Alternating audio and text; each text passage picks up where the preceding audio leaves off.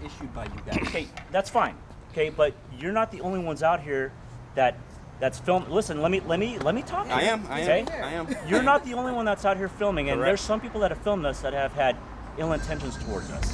So as a That's safety, not my problem. listen, you guys as a know safety who I am. thing, as a safety thing for my officers, I just want everybody to be aware. There's nothing wrong with me telling Well, them. I'm sure you've guys gotten several memos about me because everywhere I go, everybody It's not seems you. to know about me. I, I But look, listen. How many times have I talked to you? Exactly. I've never talked to you, so I don't know you. Okay.